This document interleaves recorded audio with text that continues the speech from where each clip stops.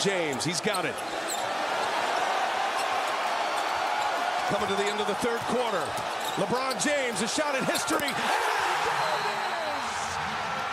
LeBron stands alone. The NBA's all-time scoring record now belongs to LeBron James.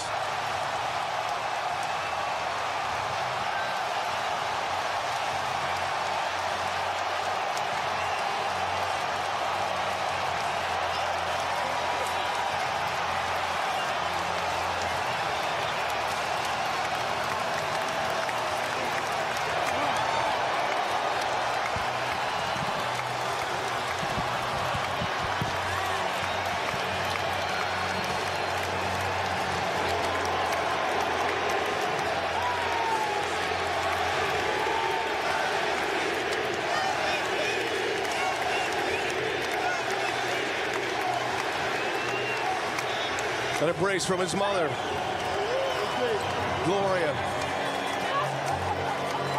Daughter Zuri coming in. Oh, the boys, Bryce and Bronny. Savannah, his wife. What a moment.